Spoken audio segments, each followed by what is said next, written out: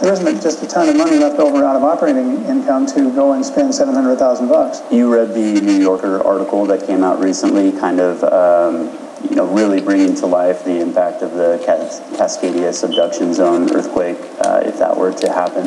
Um, and it, you had an interesting conversation uh, shortly thereafter uh, with uh, some Well, people. one of my lender friends, sometime client, called me up and said, gee, my, my credit guy back on, back on the East Coast is really uh, concerned about this article he read in, the- in the New Yorker.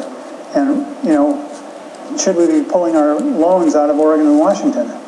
I mean, and, and as far as I know, he was, he was serious. That's what the guy told him. Yeah. And so it's created an enormous amount of, of awareness of this, of the problem, the earthquake threat in Oregon and mm-hmm. Washington. And it's because it's, it comes from a publication that's so well known to the sort of the elite on the East Coast.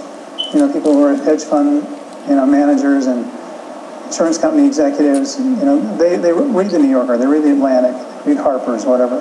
These are these are intellectual magazines. This this stuff has credibility that it didn't have when the same article was written in the Oregonian or the Seattle Times. People weren't paying attention back on the East Coast. Sure, Now they are. and rightfully so. Yeah, I think so. Is there an opportunity for owners to uh, to get involved at this point in time? Well, sure. Well, you, you audited some of the uh, some of the meetings of the, mm-hmm. of the city task force, and I started out auditing that. That yeah, I think anybody with who wants to come to those meetings, they're open meetings. Mm-hmm.